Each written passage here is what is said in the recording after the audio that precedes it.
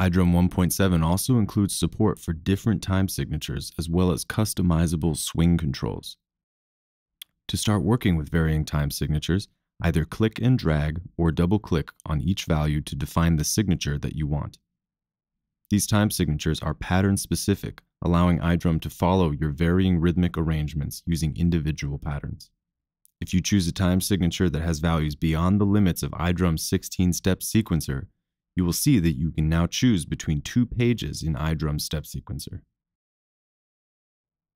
Once you've programmed your pattern, you can add your own defined swing to it by either clicking and dragging or by double clicking on the swing parameter.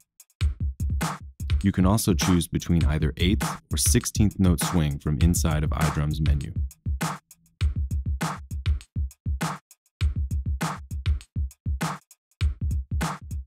iDrum also comes equipped with specific groove templates that emulate the swing and humanize features that made old samplers so famous.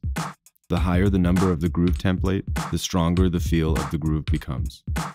The groove and swing parameters will also add together, allowing you to create your own completely custom combinations between mathematical swing and traditional groove templates.